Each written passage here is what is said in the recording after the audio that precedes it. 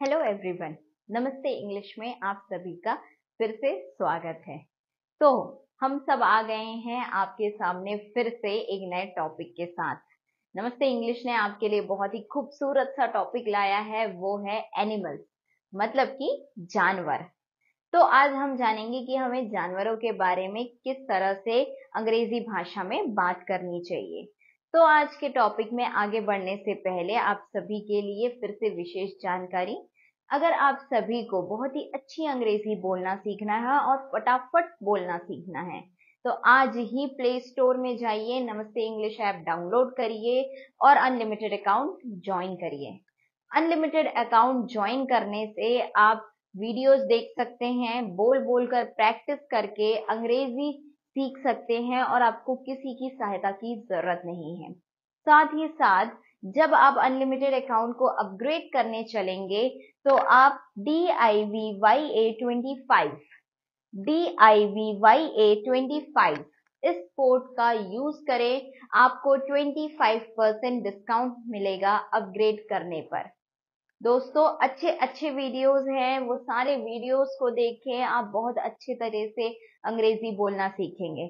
और साथ ही साथ हमारी लाइव क्लासेस में बने रहिए, हमारे इस चैनल से जुड़े रहिए और अंग्रेज़ी बोलना सीखते रहिए। चलिए, आइए देखते हैं एनिमल्स मतलब कि हमें जानवरों के बारे में चर्चा करनी है। चलिए एनिमल्स तो अक्सर हमने एनिमल्स तो बहुत तरह तरह के हैं। कितने तरह तरह के एनिमल्स हैं, बहुत से एनिमल्स हैं तो हम उन्हें बोलते हैं कि एक होते हैं पेट एनिमल्स और एक होते हैं स्ट्रे ओके तो पेट एनिमल्स मतलब कि पालतू जानवर और स्ट्रे मतलब कि जो स्ट्रीट में होते हैं, जो पालतू नहीं होते हैं या जिन्हें किसी जैसे पेट्स आपने जैसे सुना है कि इंसानों के लिए आश्रम है, वैसे ही पेट्स के लिए जानवरों के लिए भी आश्रम है या जू घर है। बोलना चाहिए जो जू है या जो चिड़ियाघर है, उसके अलावा भी जानवरों के लिए आश्रम होते हैं। वहाँ पे जानवरों को रखा जाता है, उनकी सेवा की जाती है। तो वो होते हैं वो स्ट्रे में नहीं आते, उनकी देखभाल हो रही है। स्ट्रे एनिमल्स वही होते हैं जो हमें सड़कों पर दिखते हैं, जिनके पास रहने के लिए ना वो चिड़ियाघर में रह रहे हैं, ना उन्हें किसी ने पालतू जानवर की तरह रखा है और ना ही उन्हें किसी आश्रम वालों ने एक्सेप्ट किया है। चलिए तो हम बात करेंगे जानवरों के बारे में। सबसे पहली बात दोस्तों, काफ़ी गर्मी का मौसम है जिस तरह से आप सभी को गर्मी लगती है, वैसे ही जानवरों को भी गर्मी लगती है। कोशिश करें कि अपने अपने घरों में, जो हमारे घरों की जो दीवार होती है मेन एंट्रेंस में जो दीवार होती है, या जहाँ भी आपको सहूलियत हो, वहाँ पे एक मग में या किसी एक छोटे से बर्तन में पानी रख दें। जी दोस्तों पक्षियों को, जानवरों को, डॉग्स के लिए एक बड़े बर्तन में, डॉग्स के लिए, गाय के लिए एक बड़े बर्तन में पानी रखने का प्रयास करें दोस्तों और कुछ दाना, कुछ चारा डाल दे, उनके लिए कुछ दाना दे दे, क्योंकि गर्मी बहुत है। आप अपना ख्याल तो रख ही रहे हैं, साथ ही साथ हमें जानवरों का भी ख्याल रखना है। तो जो चीज़ मैंने अभी हिंदी में बताई, वही मैं आपको अंग्रेज़ी भाषा में बोल देती हूँ कि please take care please take care of animals मतलब कि जानवरों का भी ध्यान रखें। Give water to them. उन्हें पानी दें। Provide some food, provide some food in small containers. छोटे कंटेनर्स में कंटेनर्स मतलब कि कोई भी ऐसी वस्तु जिसमें आप सामान रख सके, उसे हम कंटेनर कहते हैं। तो ऐसी वस्तुओं में आप खाना रख सकते हैं। तो provide some food in small containers छोटे कंटेनर्स में या बड़े कंटेनर्स में कुछ खाना उन्हें प्रोवाइड करें। तो ये मैंने आपको जो अभी हिंदी में बताया था, वही उसका मैंने अंग्रेज़ी भाषा में कुछ उसके वाक्य बना दिए दोस्तों। चलिए please take care of animals ये हमें हमेशा ध्यान रखना है। कि हमें अपने साथ साथ, चाहे ठंडी हो, गर्मी हो, या बारिश का मौसम हो, हमें बारह महीने जानवरों को पानी और खाना तो देना ही चाहिए। चलिए, अब आगे बढ़ते हैं। पेट एनिमल्स मतलब कि पालतू जानवर। पेट एनिमल्स थोड़ी सी चर्चा हम पालतू जानवरों पे करते हैं।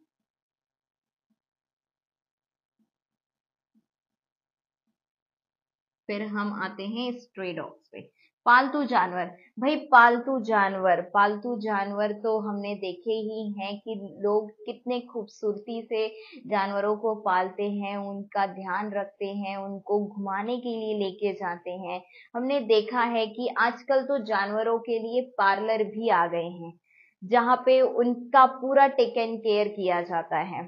तो पालतू जानवर अगर आपको कुछ पूछना है, किसी से कोई प्रश्न पूछना है तो आप कह सकते हैं do you have pet in your house do you have any pet in your house in your home कह सकते हैं हम। क्या आपके घर में कोई पालतू जानवर है? क्या आपके घर में कोई पालतू जानवर है।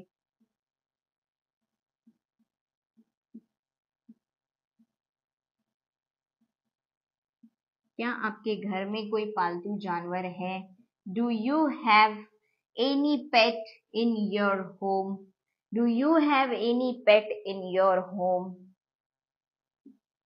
और आप पूछ सकते हैं what is the name of your pet what is the name of your pet आपके पेट का नाम क्या है? पेट मतलब पालतू जानवर।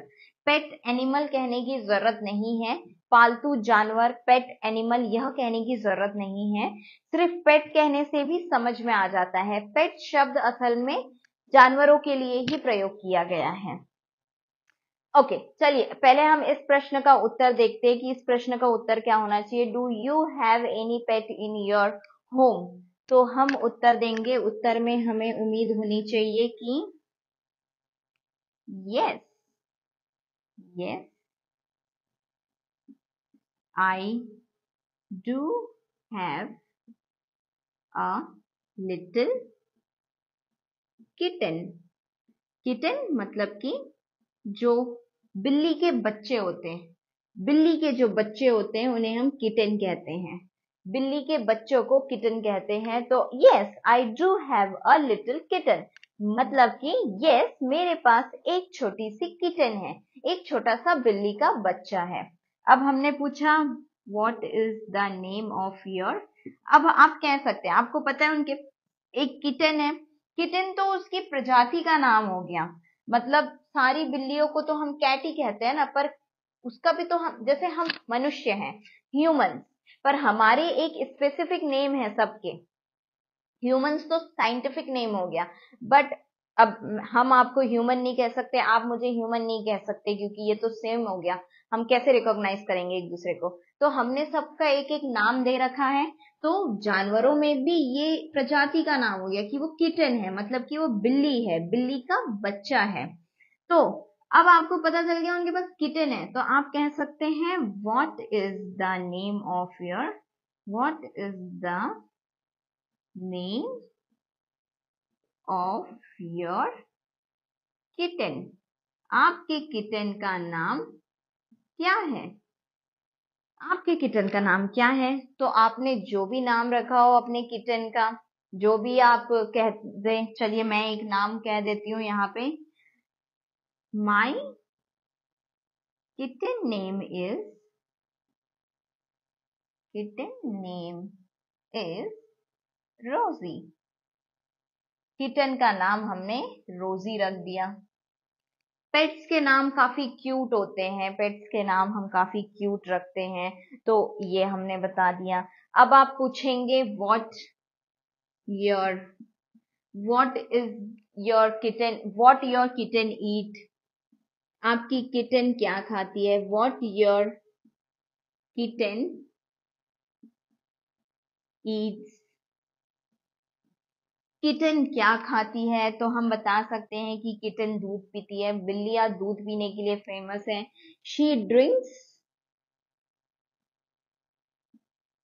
मिल्क बिल्ली मतलब कि दूध पीने के लिए बिल्ली काफ़ी प्रचलित है भाई। तो शी ड्रिंक्स मिल्क अब हम कहेंगे कि किटन का क्या रूटीन है भाई? जानवरों का भी रूटीन होता है। ऐसा नहीं है कि हम मनुष्य ही सिर्फ़ एक रूटीन में चलते जानवरों का भी रूटीन होता है क्योंकि उनमें जीव है। क्योंकि वो जीवित जीवित इंसान है जीवित इंसान नहीं, जीवित है वे। तो वे भी एक जीवित प्राणी है। तो वॉट इज़ द रूटीन उनका भी तो कोई रूटीन होता होगा। What is the routine of your kitten आपके किटन का क्या रूटीन है? रूटीन मतलब कि दिनचर्या। रूटीन मतलब कि दिनचर्या। आपके किटन की क्या दिनचर्या है भाई? तो हम बताएँगे। My kitten wakes up at wakes up at 6 a.m. सुबह छह बजे हमारी किटन उठ जाती है। She walks in the corridor.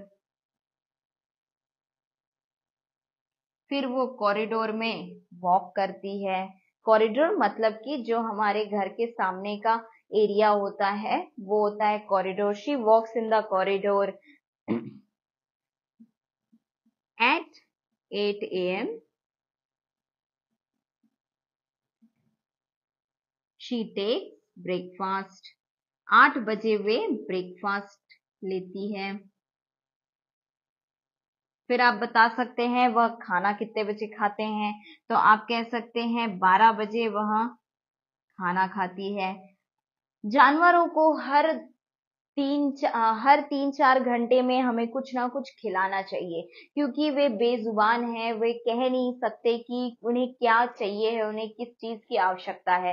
तो हर तीन घंटे या हर चार घंटे में उन्हें हमें कुछ ना कुछ देना चाहिए। उन्हें भी भूख लगती है, जैसे हम थोड़ी थोड़ी देर में पानी पीते रहते हैं, कुछ ना कुछ खाते रहते हैं तो जो पेट हैं, जो पालतू जानवर हैं, उनके लिए भी हमें एक बाउल में पानी भर के रखना चाहिए। उनकी जब इच्छा होगी, वो आके वो पानी पी सकते हैं। तो हम कहते हैं कि 12 बजे वो लंच करती है। लंच मतलब कि जो दिन का खाना होता है, वो लंच होता है। फिर हम बता सकते हैं कि वो थोड़ी देर के लिए सो जाती है। जानवर भी भाई आराम करते हैं। दोपहर में वो, वे आराम करना पसंद करते हैं। फिर वह शाम को फिर उन्हें टहलाना ज़रूरी होता है, क्योंकि आखिर है तो वो जानवर। अगर उन्हें आप घर में एकदम कैद करके रख देंगे तो ये अच्छी बात नहीं है। ये तो हम मनुष्यों को शौक है कुछ जानवरों को पालने का, इसलिए हम जानवर अपने साथ रखते हैं। वरना जानवर तो प्रकृति के लिए बने हैं, बाहर की दुनिया के लिए बने हैं। तो हम, इस तरह से हम रूटीन बता सकते हैं। तो पेट एनिमल्स का तो ख्याल बहुत ही अच्छे तरीके से रखा जाता है। बहुत ही अच्छे तरीके से उन्हें आ, सफ़ाई से भी रखा जाता है। उनके खान पान का भी काफ़ी ध्यान रखा जाता है। उनकी तबीयत का भी काफ़ी ध्यान रखता है रखा जाता है। जब भी तबीयत खराब होती है तो पेट एनिमल्स को ज़रूर जो घर वाले होते हैं वो काफ़ी अच्छे से ट्रीट करते हैं।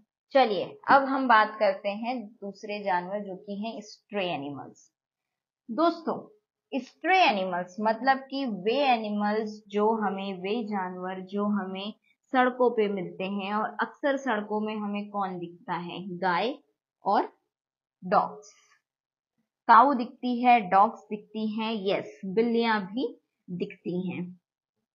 अक्सर सड़कों पे तो हमें यही जानवर दिखा करते हैं। सबसे पहले तो मैं ये कहना चाहूँगी दोस्तों, अगर आपको कोई ऐसा जानवर सड़क पे दिख रहा है, जैसे गाय हो गई, बिल्ली हो गई या डॉग्स हो गए। अगर आपको कोई जख्मी जानवर दिख रहा है तो मैं आप सभी से रिक्वेस्ट करूँगी कि आप सभी एक हेल्पलाइन नंबर है। हेल्पलाइन नंबर को अपने अपने एरियाज़ के जो हेल्पलाइन नंबर्स होते हैं केयर टेकर्स होते हैं, जो एनिमल्स को केयर करते हैं उन लोगों के नंबर अपने फ़ोन में सेव कर लीजिए। आपको कोई अलग मेहनत नहीं करनी है दोस्तों। मैं आपसे नहीं कह रही कि आप उस जानवर को अपने साथ गाड़ी में बैठा लीजिए और हॉस्पिटल लेके जाइए। बिल्कुल भी नहीं।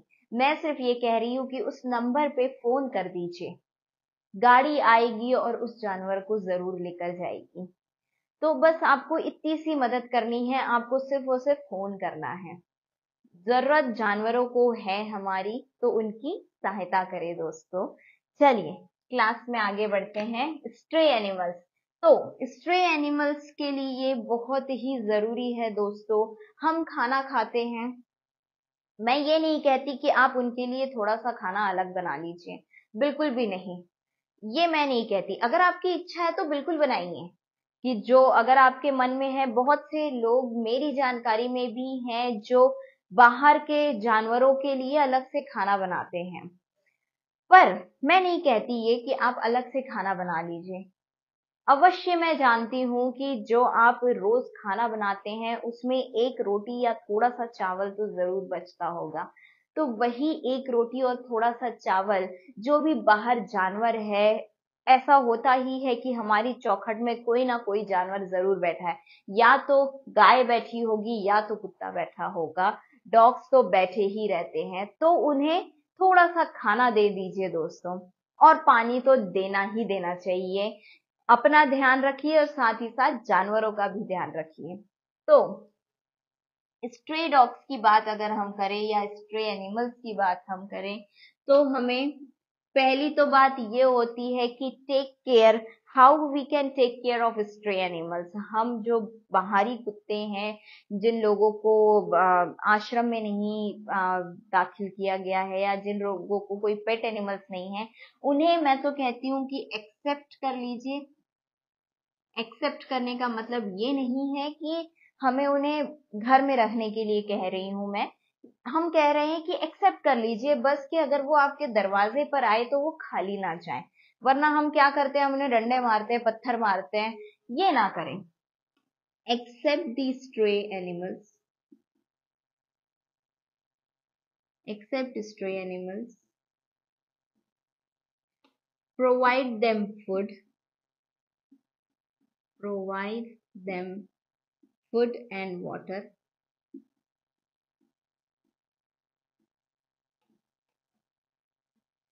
दोस्तों अक्सर आपने देखा होगा कि अगर हम डॉग्स को आ, या गाय को कुछ भी दे देते हैं मान लीजिए एक रोटी दे देते हैं या एक बिस्किट दे देते हैं वही डॉग पलट के फिर से अगले दिन फिर आपके दरवाजे पर आता है। बिल्कुल क्योंकि उसे उम्मीद होती है कि इस इंसान ने मुझे कल कुछ खिलाया था तो आज भी कुछ खिलाएगा। और वह डॉग फिर आप पे पलट कर कभी नहीं आपको भोगता क्यों? क्योंकि उसे पता होता है कि इस इंसान ने मुझे खाने को दिया है। जैसे हम कहते हैं कि डॉग सबसे वफादार जानवर है। बिल्कुल वह वफादार है। आप कोशिश करिएगा, आज आपकी स्ट्रीट में या घर से निकलते ही आपको कोई डॉग दिखेगा तो उसे दो बिस्किट खिला के देखिएगा। कल फिर से वह डॉग आपके पास आएगा, फिर उसे दो बिस्किट खिलाइएगा। तीसरे दिन आप देखेंगे कि वो डॉग आपके पास आ रहा है, आपके पीछे पीछे चलता है और आपको बिल्कुल नुकसान नहीं पहुंचाता। तो ये बात सच है कि डॉग्स वफादार होते हैं। चलिए। Except the stray animals stray animals को अपना लीजिए। Provide them food and water उन्हें फ़ूड और वाटर प्रोवाइड करिए। और अगर आपको ऐसे स्ट्रे एनिमल्स मिलते हैं तो एनजीओ को कॉल करिए। जो एनिमल एनजीओ हैं, उन्हें इनकी जानकारी दीजिए। एनिमल एनजीओ के पास आप स्ट्रे एनिमल्स को छोड़ सकते हैं। उनके पास आप बहुत अच्छे तरीके से एनजीओ में भी स्ट्रे एनिमल्स का ध्यान रखा जाता है। There are there are animal NGOs animal NGOs हैं। एनिमल एनजीओज में आप इनको भेज सकते हैं, वहाँ पे इनका ध्यान रखा जाता है। अगर आपको drive slowly drive slowly drive slowly looking at the animals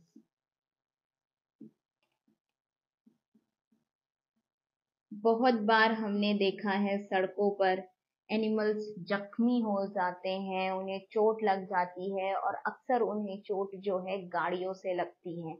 तो अगर आपको सतर्क रहें, गाड़ियाँ चलाते वक्त सतर्क रहें, वैसे भी गाड़ी हमें काफ़ी अच्छे स्पीड में चलानी चाहिए, तेज नहीं चलानी चाहिए। ऐसी स्पीड रखें जो आप कंट्रोल कर सकें। तो ऐसी स्पीड रखें कि जानवर अगर आपको दिखता है तो आप उसे कंट्रोल कर सके। अक्सर बार ऐसा होता है कि जानवर को तो ठोकर लगती ही है, साथ ही साथ हमें भी नुकसान पहुँचता है।